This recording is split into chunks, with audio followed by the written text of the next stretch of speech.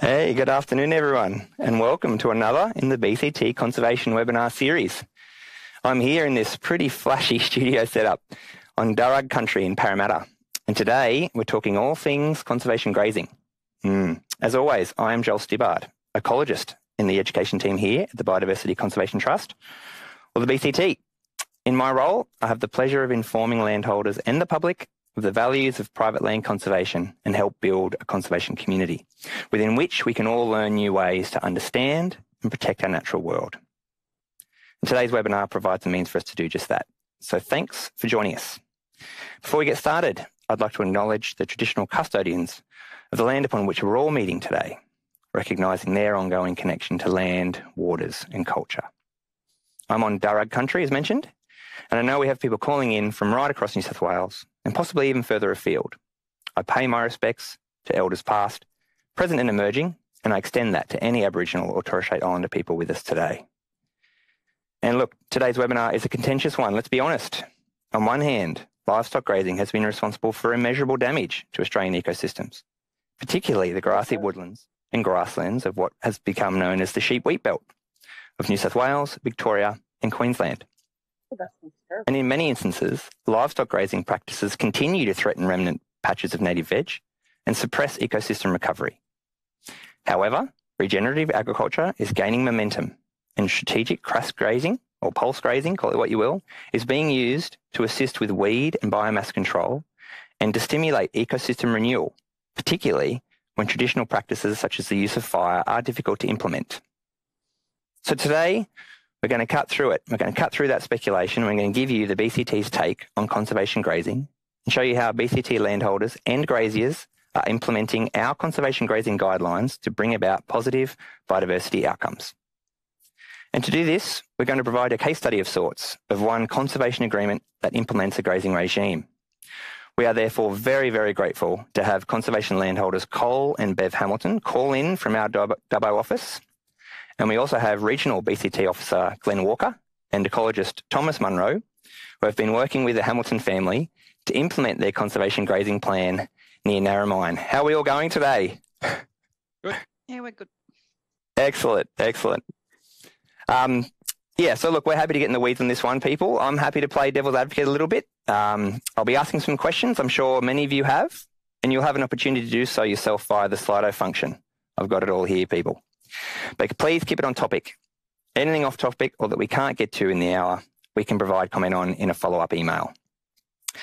But before we get into it, I wanted to show you guys a video of the Hamilton's place. They were lovely enough to let us um, come onto their property and, and film for a bit. So you can get a feel for what's happening on the ground, given we're all sitting there in the office, and give you a bit of a con- some context on the discussion. So have a look, and we'll see you on the other side.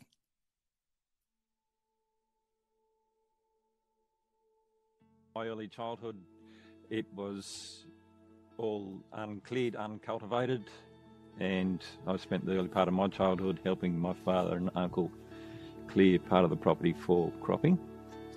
But the stocking side of things, it was set stock. Each paddock had its one mob, and they'd stay there, and that's where they belonged, and it was set stocked. In the late 2000s, we piqued an interest for uh, soil biology and it made us question what we're actually doing to our farm and then to ourselves through application of high rates of chemicals and fertilisers for the, the cropping program. And it's where we first came across this concept of uh, high intensity rotational grazing. Stock are moved from one area to another, only there for a few days. Um, high impact and then long rest and recovery periods before they come back again. So we'd already sort of ventured down that track, I suppose, for a number of years before we entered into our agreement with the BCT. That there's a, a roadshow workshops around that the team were coming to our area and we went to a, an information session in Trangie. The cut-off date for expressions of interest was pretty close. So it was like you really had to come home and make a decision. You know, do we want to even go any further with this or? The original figures that were talked about at the roadshow, we thought, well, why would you bother? And so we worked out a, a figure based on a lease, what leasing agreement would be at this time, and we sort of thought, well, we can still graze strategically, so we've sort of gone halfway. It wasn't a full lease rate; it's about half what the lease rate would be. I think the the level that we're at, I probably wouldn't have come under that, but it's, I suppose, taking up the slack for the, the grazing that we're not getting out of there that we might have otherwise done. And, but on top of that, I think the plus will be in a dry period where we can't graze it because we haven't had the regrowth, and we're still getting that um, financial reward off there for not grazing it. Yeah. I suppose it's a regular income. It's finding out the, the peaks and troughs of the, the climate variability that, that comes through in your bottom line. I'm very pleased with the, the number of recruits of various uh, species there. There's some wattle that hasn't been there since I was a child, and um, lots of uh, young wilga that, and uh, some of the cypress that are re-establishing, coming back in that, that area. Normally, when it was set stock, they, they never got a chance. Our natural areas, if you like, the or what's left of them, uh, they need to be preserved. Uh, um, otherwise, in another, you know, 50 years' time, there'll be nothing left. Yeah. And I think for us, it wasn't such a big um, step outside our mindset. You know, for someone that yeah. has area on their place that aren't in the space that we were already in, it yeah. possibly could be much more difficult. I think for an outsider that's not where we were, that or possibly their fear is that it's just a, a lock it up type scenario, but we still get to graze it um, strategically and um, so it's a win-win both ways, I'd say it. But, uh, we still get to use it in the right way, yeah, and the environment gets a plus out of it too.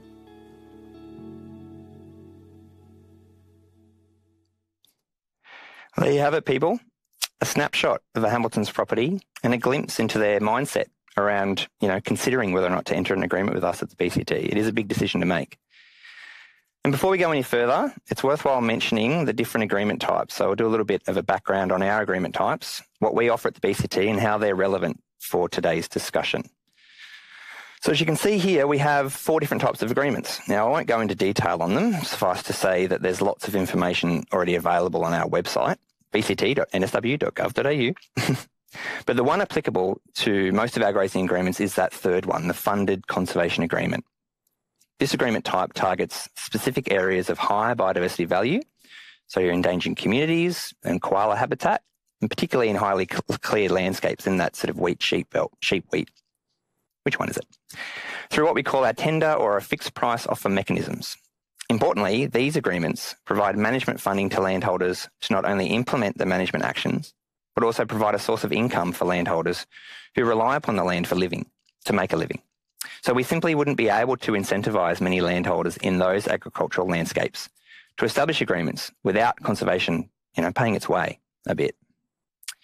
For the Hamiltons, it was the Central West Rivers tender that ran in November 2019, targeting the areas you can see on the map northwest of Dubbo.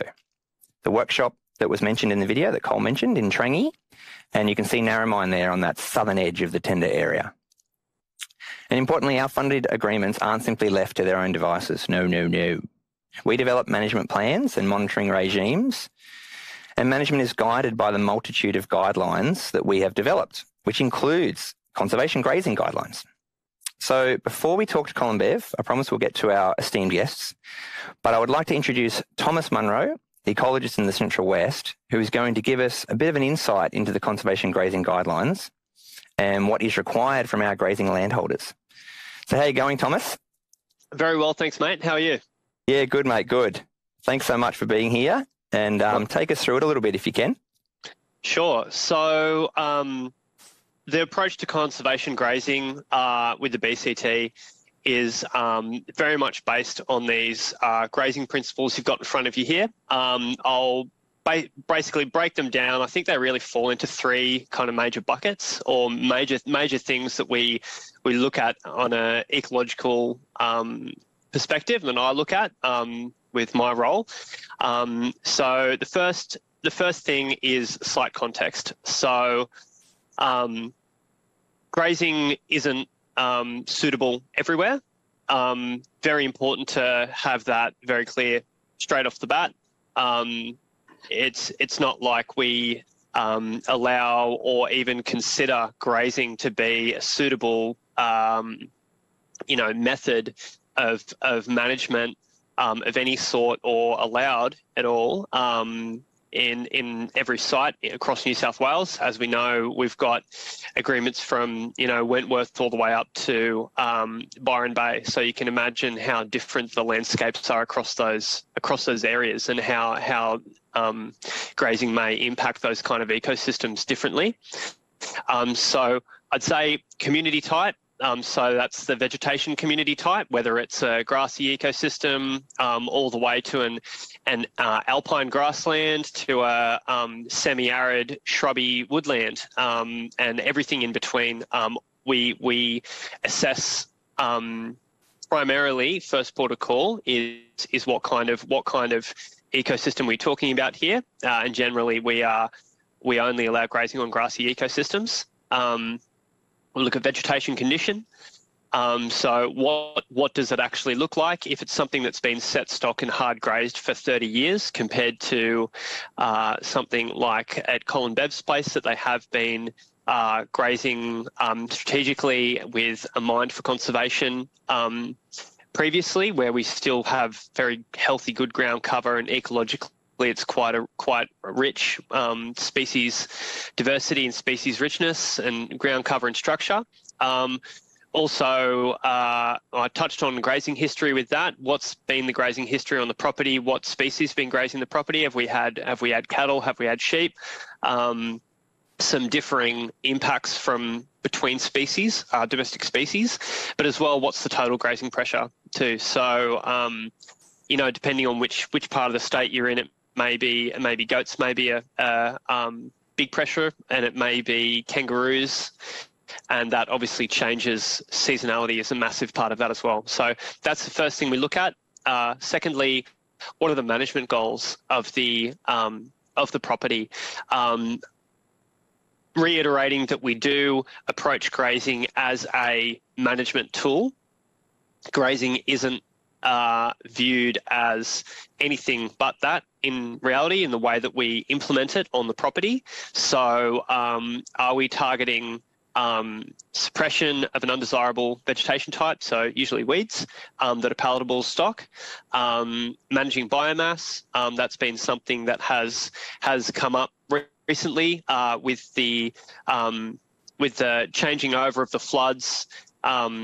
So much biomass coming up in a lot of areas um, that have been flood affected with you know two years of pretty solid rainfall you can imagine the grass is going pretty gangbusters um, so that's an aspect we look at um, and we and we delineate through management zones uh, uh, what we're trying to do if we've if we've got um, specific regeneration goals of, of certain species um, etc and then finally, that's all put into the context of ad- adaptive management, which is which is the way that we approach every aspect of our agreements. So um, that may be um, uh, starting a rest period. So a lot of agreements, if um, the condition is uh, suboptimal, probably not what, where we'd want it to be, and we're really focusing on rebuilding the um, the condition of the vegetation on a, on a potential conservation area, we would be uh, doing things like uh, putting a five-year rest period in prior to um, the application of grazing as a management tool. That's quite common. Um, but then, uh, you know, on Col and Bev's place, where from the get-go it was very in very good condition, that that wasn't required. Um, and monitoring is another big part of that. So, so we, uh, I think we'll touch on it a little later, but we we do have consistent monitoring both from the landholder and from the BCT, including um, total grazing pressure monitoring, um, tracking of the application of, of stock into a conservation agreement, and as well tracking the um, species richness and diversity community structure and all of the um, ecological aspects of that um, conservation area. So they're, they're the main pillars. Um, by which these principles generally fall into, um, and that's what we what we have in our mind when we're when we're coming to the table initially looking at developing a management plan for a conservation agreement. Great, mate. Thank you. And I can see that that uh, tenth point there being, you know, vegetation being regularly monitored against the healthy condition threshold. Um, interested to know when you see uh, what what sort of healthy condition means for um, yeah, how do we determine the healthy condition um, at a particular site? Sure. So um, as you can see on the slide here, um, we do have uh, varying, um, you know, uh, guidance around what we would consider healthy condition for uh, what kind of what area we're in, what's what IBRA region, um, what community type, all the rest of it. You can see it there, um, and as well, rainfall is a big um, plays a big part into that. So that that would that would give us our starting point of um, on this property, what is going to be our basic framework of what um, healthy condition looks like. And then we translate that through to um, using the um, ground cover and average bulk um, grass sward height measurements, which the landholders um, undertake before they put their stock onto a conservation agreement. And that's all um, uh, you know, um, captured in their um, in their grazing management, um, you know, uh, methods that they used. So they they they track what that was when they put the put the stock in there, um, what it is during the stay of the stock, and then when they take them out, make making sure that they're um, not dropping below those um, you know benchmarks. Um, mm. So uh, it is it is variable, but that's the that's the strength and the beauty in the system. Really, is we we do not have a one one size fits all, um, as that's just not the reality of um, you know biological system. So uh, yeah. yeah, that's that's pretty much how we do it there. But you can see the um, specific techniques that we use there, and we um, we educate our landholders on how to how to go about these. Give them a little one meter quadrat there and a um, and a sward height ruler. Um, so we we do help out the landholder with with being able to make those assessments, and they do um, record all of that. Great, thanks, mate. And the other thing to um, to talk about, I think, is the uh, is the grazing window. Um, and I've got an example up on the on the screen there on the slide. Um, it's something I'm, i find really interesting um, in the whole, you know, determining that grazing regime is the idea of the grazing window. Can you give us a bit of a background on sort of how that's determined and why? Sure. Yeah, sure. So um, the things that we we uh, bring into consideration when we're looking when is the best time to graze. Um, first of all, going back to those initial pillars of what, what the purpose is, and it's for it's for management. So we look at um, are there um, where are the uh, species that we're looking to impact, the undesirable species, the weed species, the exotic species that we are we are actually aiming on uh, controlling through the application of um, grazing as a management action, that's our first port of call. Um, from there, we would then look at um, what other species are occurring on the property. So uh, we can see in our example there, we've got um, some grass species. Um, you know, if we've found uh, uh, other lily species or orchids or any, you know, herbaceous species that may be uh, palatable to stock and have a have a risk of uh, being you know quite adversely impacted by grazing then we'd take that into account of okay well we're obviously not wanting to um, get the stock coming in and hitting those species uh, when they're going through recruitment phases um, because the the whole idea of what we're doing is we're, is we're trying to protect that allow those species to um, recruit and and get a get a foothold back in systems that they are not in, and as well um, species that aren't in those systems to come back to um, migrate from you know other reserves nearby, those kind of things. So that's pretty much what we look at when we're looking at this. Um, and it's based around those um, those reproduction um, timings of those species, and you can see there that we've we've we've got that example with the list of okay, well we don't want to we don't want to be in in in these months because that's going to potentially have a um, you know a quite a heavy impact on the on on the seeding dispersal and establishment of those other species. So we'll we'll limit limit the grazing um, to to times when when that that isn't going to be taking out the entirety of that reproduction um, window for those species. Yeah, great. Thanks, mate. I'm going to preempt. I've already got a question on such um, on Slido, asking when what happens if the grazing window um, overlaps, or sorry, the when the weeds and native species flower and set seed at the same time. Do, is that something that regularly occurs? Is something we? Um, how do we handle that? Yeah, sure. Well, um, uh, as as you can imagine, there's there's a lot of species out there, and they've all got their own idea of when it's a good time to reproduce. So, um, unfortunately, they they don't really fit that that block completely all the time. Yeah. Um, and that's when we look at other methods to control those weeds. Um, and those underside species. So we'd be we'd be looking at other other aspects of weed control. Pretty much all of our um, agreements will have some um, other aspect. Um, we've got our uh, required management actions that are across all uh, conservation areas. And so we'd be looking at, well, um, is grazing suitable? Um, and do we have other options that we can effectively manage those species? Um, it wouldn't be a case of, oh, well, we need to get rid of these weeds. I guess there goes the orchids that's not how we'd approach it. Yep. Okay, that's great. It's great to know, and I think it's important to point out. Uh, look, one, I think one more thing from you, Thomas. But given you are our one of our monitoring um, ecos, and you're involved actually with Col and Bev, I can see you there pointing out something in that photo. Probably um, something very interesting. I'd yeah, say. yeah. With that fantastic mustache of yours, I have to mention it's it's very good. I, could, I wish I could grow one like that. I really do. Um, yeah. So, you know, in regards to monitoring, you're obviously involved in it yourself. Um, there's some landholder monitoring. Just quickly, we got to get to Col and Bev, but um, you know, tell us a little bit about the monitoring, you know, as part of a grazing regime.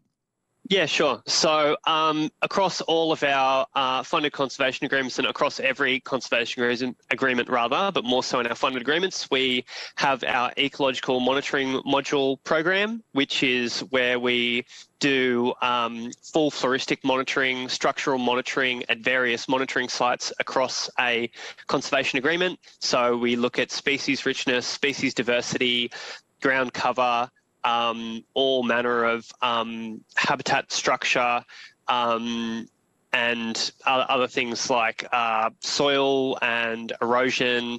Um, and pretty pretty much anything we can think of that'll that'll have an impact um, or indicate um, the the health and the uh, potential gain in biodiversity of that site. So that's one aspect of our of our monitoring uh, that does overlap with grazing. By if if grazing is going on and we see a decline in species, well then we adapt our management.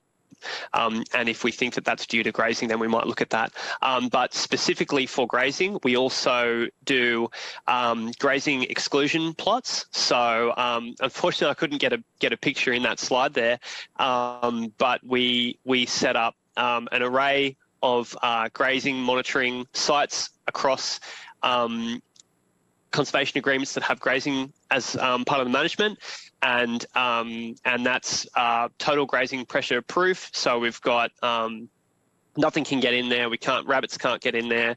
Um, and we, we use that as a tool to uh, determine what impact grazing is having. And that's from a total grazing pressure standpoint and then we can tease out from that with um, the information that's collected by the landholders and the information that we gain through our annual uh, site visits that we uh, go out and um, check out the site.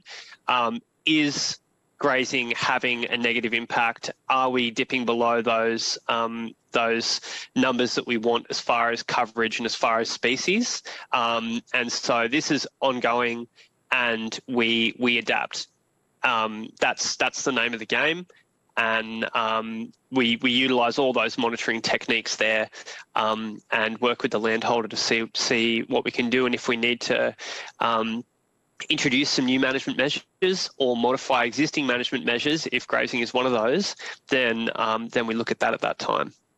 Great. And that, yeah, I think that's super important to talk about that sort of link between monitoring and and adaptive management. Um, so thanks so much, Thomas. Thanks for taking that time to talk us through the guidelines and sort of how they're applied at Colin Bev's. And look, it's almost been half an hour and we haven't even introduced our esteemed guests, Col and Bev, or given them an opportunity. And I know they've they've travelled to Dubbo, to our Dubbo office to talk to us. Um, I think we've got two or three of them almost in the same room there in Dubbo. So look, I thank you so much for taking the time. I've got a, um, a map that I've actually t- taken from the uh, agreement from the management plan that shows your agreement area, which I think is um, really interesting in in that it doesn't, and you, you can talk to us please about this, but it doesn't take up all of your property. It's just a proportion, 160 odd hectares or so. And this map uh, provides, you know, a, an indication of where those different management zones that uh, Thomas mentions uh, actually exist. So, please, can you take some time talk us through, you know, how you've applied grazing um, the grazing guidelines, what these management zones are all about, and just give us a bit of, uh, yeah, a background on your experience with us here at the BCT, please. That must be me. Yeah, go, Col. Uh, good afternoon, and welcome to the uh, Zoom call.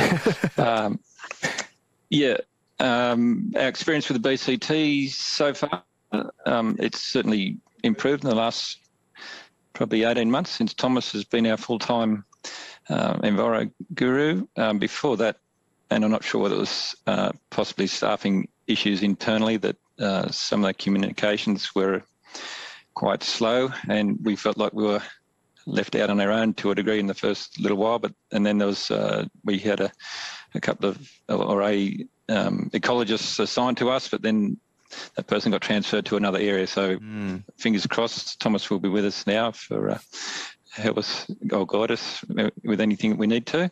But um, the management zones that you see there, um, that was how we had that section of the property already um, split with internal uh, temporary fencing for grazing management, uh, not probably if it was done according to either soil type or, or species um, location. It may be in different shapes, but um, the area to the, uh, I guess the, the south or the eastern end of that is, is tends to be more open woodland country. Uh, it runs into more acacia or myall and, and open grasslands, whereas the other areas, um, the, the larger area there, um, the blue area is predominantly uh, cypress and, and, what I would call yellow box. Um, and then the other areas are probably a mixture of all, all three there. Um, but yeah, that's why it's been split up in those zones is purely for management of livestock, so we can get the uh, the impact that we want and the um, uh, yeah, just the, the the time periods that we allocate to each area. Okay, great. Thanks, Col. So do you, do you actually graze, do you graze that area? Is that area sort of treated differently to the way you manage the rest of your property and, and how I guess you've managed things prior to the agreement itself? it is managed differently now in that we're probably more careful of making sure that we have enough, um, not so much ground cover there, but enough um, material there that's worth grazing to start with, but also we've got to fit within the guidelines of our agreement. But um, we're probably a little bit more conscious of the the species that are there now compared to the rest of our farm. But having said that, though, um, we are getting recruitment of other species um, on the rest of the property just through the change of management compared to beforehand when it was all set stocked. So you know, we're, we're probably going to get a big, better recruitment in this um, conservation area than on the rest of the farm. Okay, great, thank you. And I've just got an image up on the screen here of um, that was taken during the recent film filming, and that's obviously in the agreement area itself. Um, again, I'm going to just ask the question around, you know, from from the outside looking in, it does look like it's a little bit, it can look a bit uh, bare um, on the ground there. Is that something that do you find it hard to manage uh, grazing to that healthy condition threshold that Thomas talks about earlier? Is it something that you, you find affects, you know, the way you manage the property or that area? Um, no, in, once you've got the, or I find anyway, with the the if you've got high density stocking rates in there, they're not all folk, you know, picking and choosing on the on either the open area or the wooded area. They're they're just crash graze the, the, the, total area and then they're out of there and the whole area gets the gets a graze and, and then gets the, the recovery period as well. So I you know, unless I'm specifically focusing on either the open area, well, that's the bit that I'll be watching when I know it's time that they've they've been in there long enough to to move on to the next area. Okay, great, thanks, mate. Here's a yeah, I've got another image here which I think um, better represents what's found on the ground. It's actually looking looking quite good. Is is this area just just out of interest? Is this area um, where are we in the in the agreement? Is this and where are we up to with the regime? This was obviously taken only a couple of weeks ago. Um, so is this sort of post graze or um, where yeah. are we up to with the regime there? Um, that's really about three, four weeks after a, a graze, and I probably should add that um, in the short time that we've been had this agreement, um, that's that was our first graze.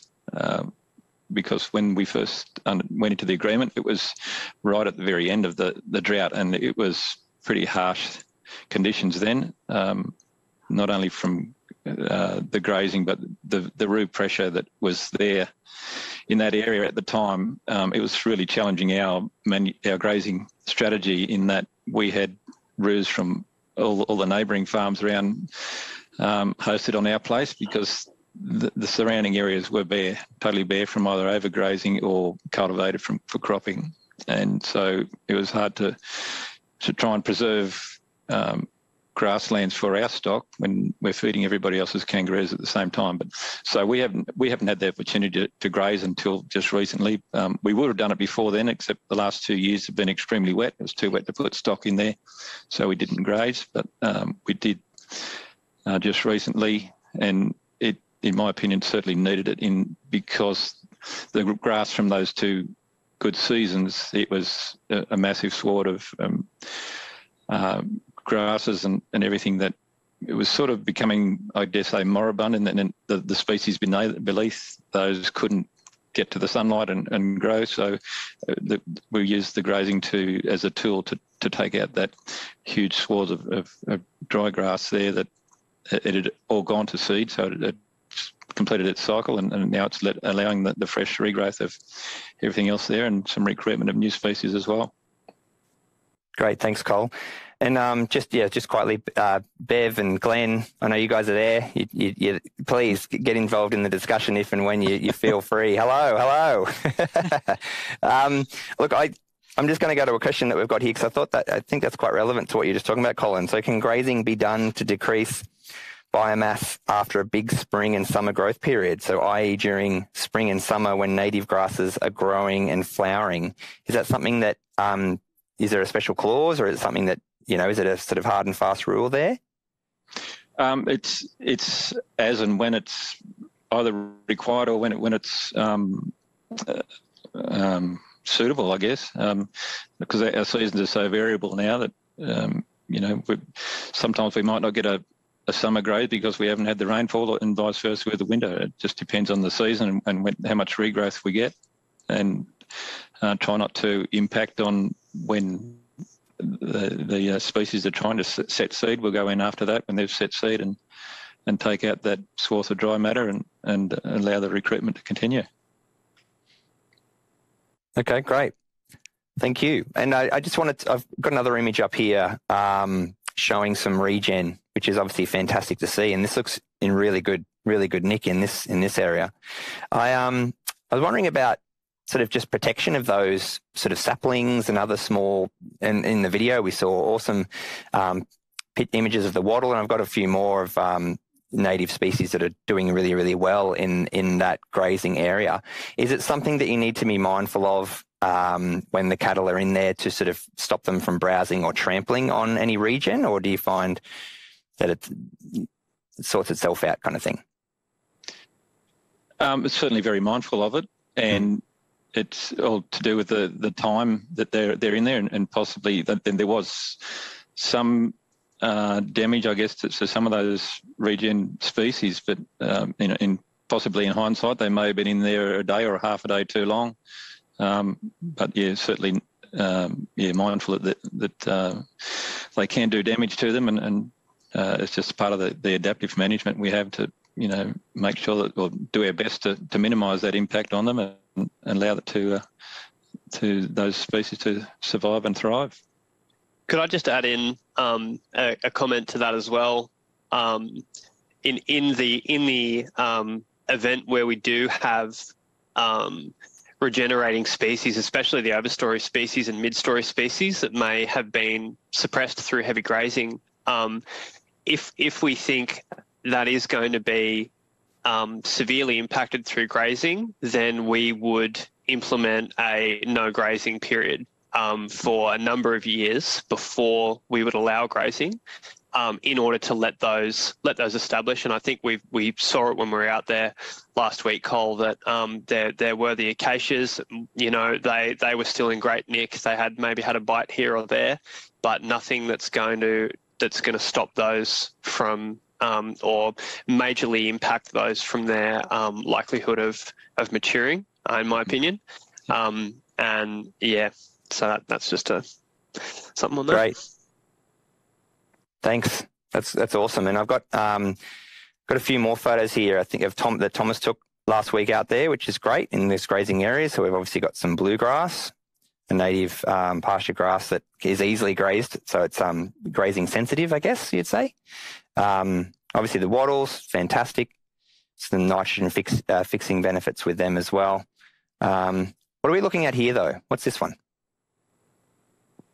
So that's Alternanthera denticulata, um, okay. which is a I can't. Don't swear at me.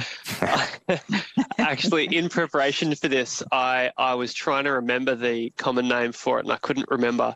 Um, but it's uh, it's one of the many herbs um, herb species that are found on the property. Um, you, you, you, find this with um, the Einadias and the um, a lot of people call crumbweeds um, and and those smaller native forbs that uh, commonly occur in um, gilgais and around other a little bit more wetter areas on on the property. Um, and as a matter of fact, um, I actually found that when we were when we were there, so I did my EMM uh, maybe maybe uh, how long before the the stock were in there, Col? Maybe a month before.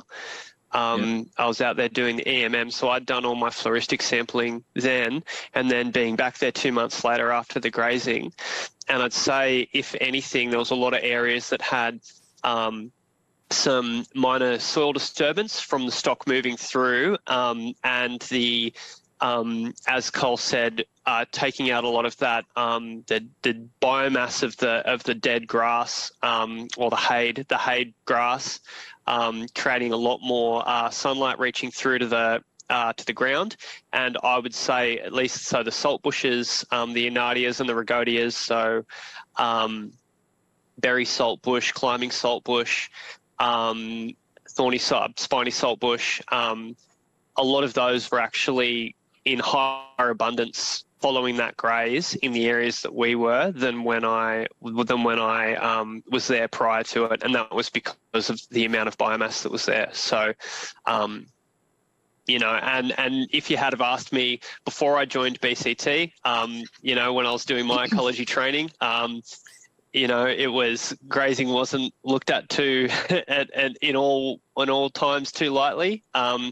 But I, I I've seen it on the ground and I've seen I've it's um it's it's been it's been good. It's there's been a positive impact ecologically for the for the site after the graze. I would I would say for sure. Great, thanks, Thomas. And look, I'm going to ask a question without notice. I'm going to go to Bev. I think we've had enough mansplaining so far, um, and just ask Bev. I mean, what have you? How have you? You know, how have you found working with the BCT? And um, have you seen some positive uh, results or you know um, observations for biodiversity in those grazing areas? Yeah, we have. Um, I think because our mindset was already in the rotational grazing, um, we've probably been um, more aware of the responses. Like even over the whole property, the response um, of the hoof action from the grazing, um, we tend to be more aware or take more notice of, um, you know, what the responses are. Yep. Yeah, great. Um, thanks, thanks, Bev. Glen, anything to add, mate? How are you going over there? You're pretty quiet. Quiet. I haven't had anything else asked yet. Uh, all going well. Um, yeah, I, would agree though, Bev. Um, you can really see that that hoof activity, uh, trampling of that extra biomass, as well as taking out top layer. And as Thomas said, I think the ecological advantage there uh, is quite visible on that side in particular. Um, you can see those forbs and herbs coming back through. So yeah, really good to see. Fantastic. And I um I also what um piqued my interest with some of the photos that Thomas got out on site, um, being great looking condition. Yep, get the get the light back on, Thomas. um, uh, great looking veg with um, some some kangaroos in them, and um, and I think it, it's probably one of those things that uh, people would um, ask if we didn't follow it follow it up or, or go through it is that idea of, of, kangaroo management. Now I've seen already some posts um, online questioning sort of great conservation grazing and how can you graze and and then control kangaroos at the same time. So clearly there's some misconceptions around kangaroo management. So I reckon Thomas, you might be in the best spot for us to talk us through our approach to kangaroo management. You know when it does apply, and um, you know what it means for grazing systems and that management and the management of, of total grazing pressure. We do have a question here, sorry, just quickly about what is total grazing pressure. So if we could just talk to that firstly, that'd be great, and then how you know how we use the, the kangaroo guidelines that we've got as well. Yeah, sure. So total grazing pressure um, is the the total amount of of pressure on those on those ecosystems from everything from domestic stock to uh, feral herbivores uh, such as goats uh, and rabbits to native herbivores such as macropods and, and kangaroos. So, um, you know, we we look at it. We look at it in a in a um, context of total grazing pressure. A lot of a lot of what we've got um, because um, the reality is that that it is it is an an uh, all encompassing impact um, a lot of the time on on what we've got there. Um, you know, keeping the structure, avoiding um, loss of biomass, which can lead to uh, erosion um, and things like that. So, so we do we do first of all look at it as a total grazing pressure um, context, and then um, you know from then we tease out you know what what what role is uh, the you know um, stock grazing playing in that. Um, so we can see there um, we do have um, managing overabundant kangaroo guidelines. Um, I would also like to quickly point out before I go into this as well that all our guidelines we do we do constantly review as we're implementing them because, like I said before, there's no one shoe fits all. Um, in a, in a lot of cases, um, but we do have this this discrete guideline where um, where we where we go through. We pretty much look at. Um, sorry, I've just just got something up on my screen here. Sorry. Um, you know, um, looking at the condition of the site um, as far as how it, how it uh, interacts with with grazing, because we have the healthy condition thresholds um, we don't get usually get a crossover of of real heavy detrimental kangaroo, um, you know, impacts on the site and uh, overlapping with grazing because the grazing stops and and the the um, the stock is either taken out or is not put in um, at all when it gets to those threshold numbers, which is usually 60%, you know, or thereabouts, um, ground cover, um, and then we would be taking taking stock out there, and then if we're seeing um, we're seeing the uh, pressure continue on those sites, and we see that ground cover and those conditions continuing to fall um, with the stock being excluded, then we will have a look at things like um, management of, of exotic um, herbivores. Um, and so we, we pretty much approach it of, well, take the stock out. How's it going? Still getting worse? All right. Can we step up our management of those other herbivores that are impacting? Yes or no? We do that. And then we see what what's the impact then? That's why we've got these, you know, total grazing pressure exclusions and stuff like that. So, what's what's going on there? Have we been able to um, effectively control those? And we'd look at we'd look at scats. We'd you know when we get into these points, we'd be looking at really probably stepping up our monitoring to seeing okay what is actually eating the grass out there, um, and then when we get to that point, it'd be looking at all right, well, what native species are there? Um, and um, if they are indeed the um, native species, um, and then it'd be looking at well uh, exclusion um, and deterring the kangaroos or other other native species is our number one. That's what we want to do. Um, I'm an ecologist. Where we all work at the BCT. We're we're not in it to damage native wildlife in any way. Um, that's the last thing that we want to do.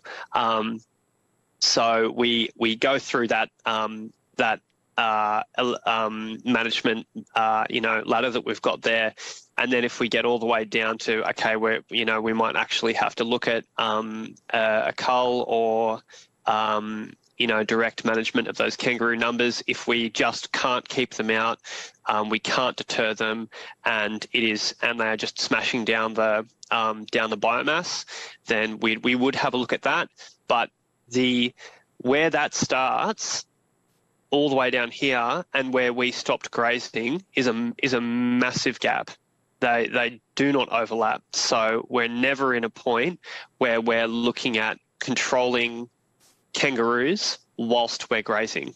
That's just not doesn't happen because because of the systems that we've got in place. Um, yep. So that's a really important aspect of that. And then when we when we do that, you know, we we we go about it, um, you know, in in the most ethical way uh, that we can. Great, mate. Thank you. And it, it, yeah, look, that's a it's a big question, and, and you've answered it really, really well. So I appreciate that, Thomas, mate, because it's important that we get that sort of information across. All right, so my time says about 12 minutes to go, and I've got a stack of questions here, so I'm going to throw some at you hard and fast. Um, the first one I've got here would be for Col and Bev, in that um, it's asking if increased grazing pressure, or is there increased grazing pressure on the rest of the farm, as you cannot graze the agreement area perhaps as much as you may otherwise?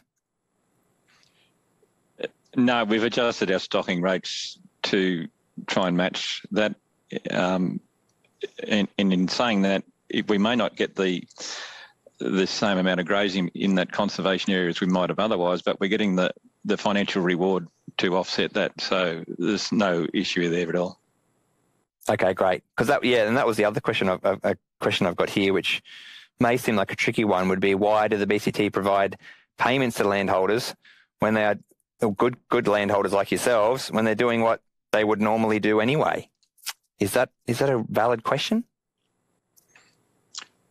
Oh, Anyone? Maybe a BCT question. It might be a BCT question. What about you, Glen? Yeah, absolutely. Well, why not pay people to do the right thing? Looking in Col and Bev's uh, situation there, already doing that uh, style of grazing. However, as Col mentioned last year, even though he had the ability to graze that area, he didn't because it was too wet. So that's a management decision over and above what the guidelines specify.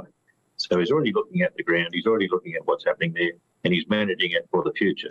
So why not be paying these people who are doing the right thing, their grazing management systems, uh, and be able to, uh, as long as we can monitor that and, and keep on top of that sort of things, um, yeah, definitely. You're not really paying them the same as what they would be doing if they were grazing there themselves. As Col suggested, the, the monetary value was about half of the lease opportunity.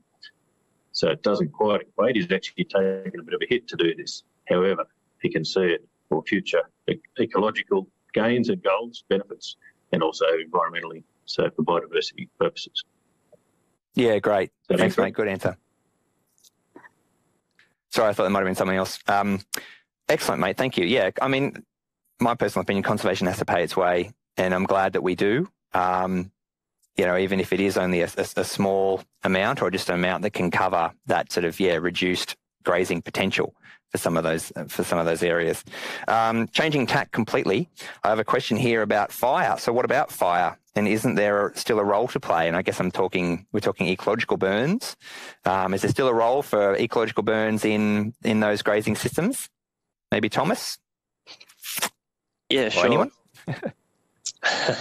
Go for it. Um, so uh, yes, there is. Um, we do have um, we do have fire as a management action. That's a um, that's a optional um, you know uh, management action in our in our management agreements, um, and I guess it's um, there's nothing that'll that'll that'll stop us from being able to implement fire as a management tool obviously it is it is quite different um, than than grazing, and just the same way as grazing isn't suitable in every ecosystem, fire is also not suitable in every ecosystem. It depends on when the last fire was, if there has been a fire, um, what species are there. Are they obligate seeders? If we do have fire obligate seeders, which are species that can only um, seed following fire, then uh, for ecological reasons we will we will look at that and then that may have the same impact as grazing or a similar impact. We might be, you know, achieving the same goals. Um, so those are those are two things that that can work together. Um, and it is it is not a case of well, instead of fire, we'll just graze. Yep. Okay, great. Thanks, mate. Um, got a few questions here. It's all very good. Thank you so much, everybody, for for sending these through.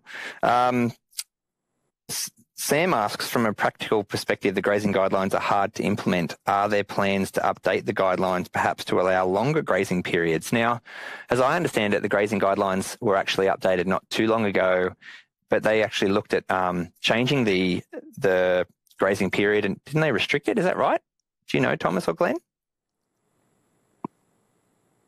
No, I think it changed the grazing.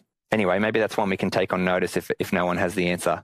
um, Oh, I was, I was wondering if Glen Go was going to say that one. So, uh, yes, it has. Um, we have uh, reviewed them again. We we obviously re- review them fairly at all fairly regularly. Um, but um, yep. So at the moment, um, I'm pretty sure, and I've only just run my eyes over them recently. Um, is the uh, yeah four seven day grazes a year, and then those are then restricted by um, by the grazing windows.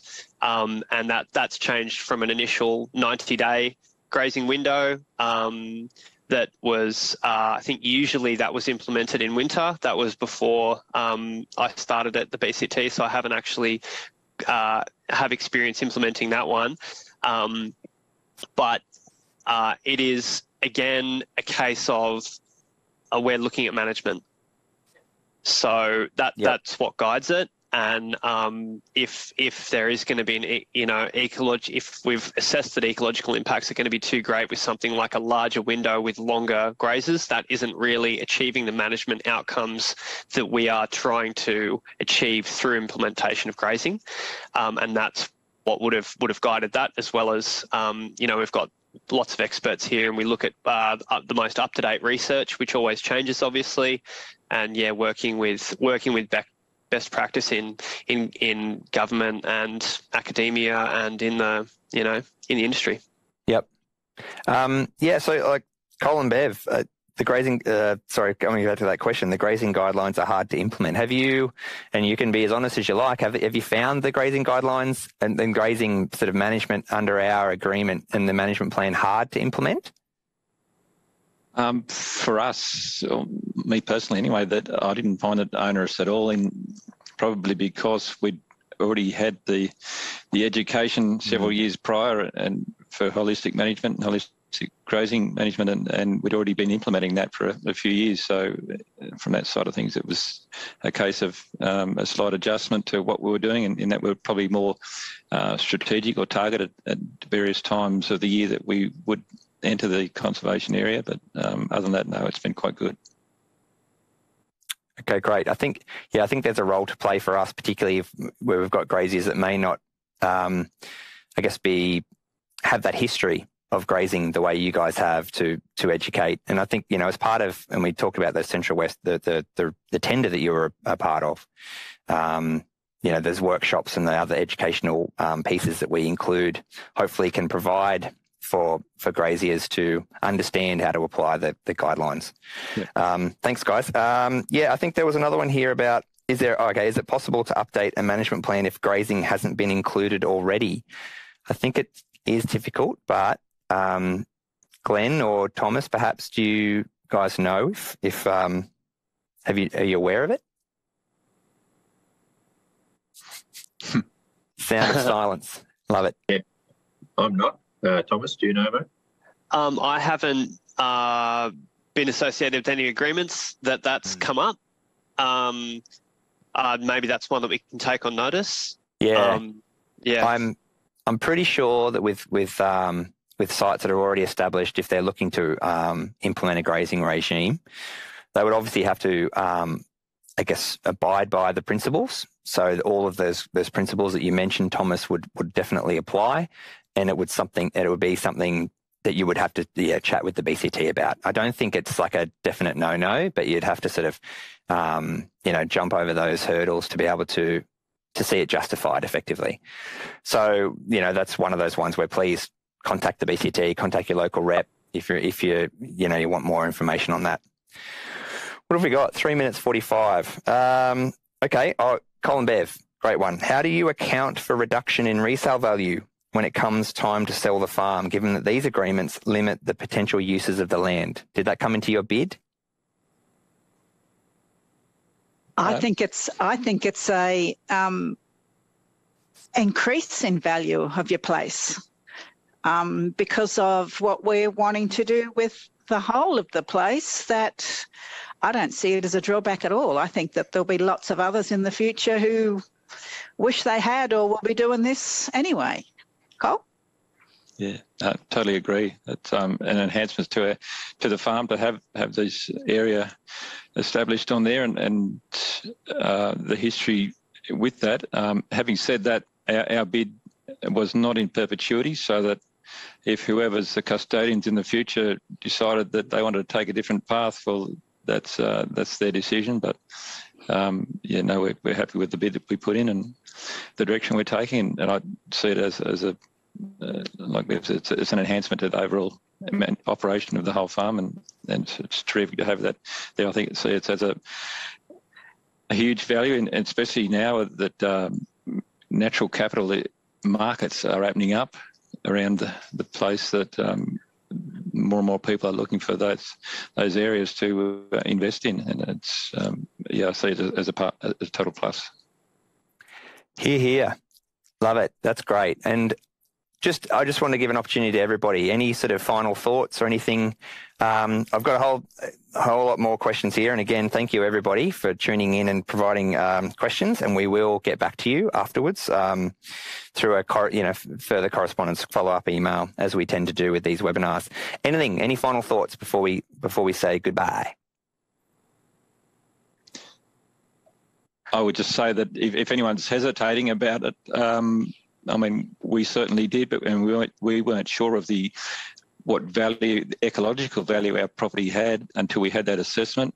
Um, yeah, put throw your bid in and and get it assessed, and um, if it's good enough value and, and your bid's not uh, too over the top, and and they're looking for it, well, it'll most likely get over the line. So yeah, you, you don't know if you don't have a go. Love it. You don't know if you don't have a go. I love it. I think that's the way to end here. It's fantastic. Um, and yeah, though information on those tenders that you know, like the example for the Central West that Colin Bever involved in, all of those tenders we have them periodically. They will be um, shown on the website and also emails and um, other correspondence goes out to those as part of our conservation community um, if you're in those areas that we're targeting. So, yeah, fantastic. Thanks, guys. All right. Well, thank you again thank you. for joining us. Um, again, please touch base if you have any further questions, and we'll endeavour to respond to all registered attendees with any questions or comments made in Slido. Thank you, Col and Bev. Thank you, uh, Thomas. Thank you, Glen. It's it was great. Thank you for travelling in. Thanks for letting us come onto your property. It was just great. Um, yeah. So tune in again, please. Uh, tune in again on Wednesday, the 16th of August, when we'll learn from expert ecologists on the importance of bringing biodiversity back to farm dams. We'll talk through aspects of dam enhancement, including access control, revegetation, and creation of aquatic habitat as a means to restore and enhance your farm dam for native wildlife. I'm looking forward to that one. I'll be in this chair again. And look, a shout out for our soon to be released conservation e-learning unit. This is one of my babies. Five modules are set to be released at the end of May, and the remaining four are not too long thereafter. You can see the different modules on your screen there. They cover all bases of management on an agreement area, but also provide principles and frameworks that are relevant for conservation management in general. So you don't need to be an agreement holder to get plenty out of it. We'll email out a link to the unit when it becomes available, and we would love for you to provide feedback as we'll be continually updating these units. If you're watching this in the future, um, please um, touch base with us, have a look, and um, we'll get you involved in those units and have a look at those modules because there's so much great information in them. All right, that's it for me. You've heard enough of my voice. Thanks so much, guys. Enjoy your afternoon, and um, see you next time. Cheers.